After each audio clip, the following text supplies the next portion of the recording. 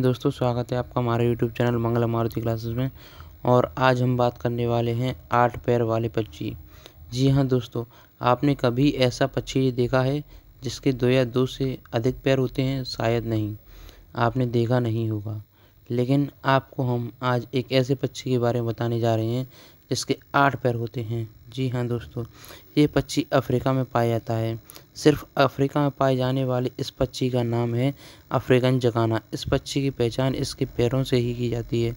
इसके पैर लंबे हैं और उसके पंजे, उसके शरीर के मुकाबले काफ़ी ज़्यादा बड़े होते हैं।